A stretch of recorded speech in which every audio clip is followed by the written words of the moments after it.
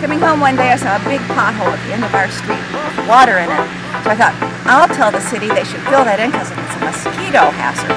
So next thing I know, I see all these signs up and down the street, and I thought, well, maybe they're going to paint the whole thing.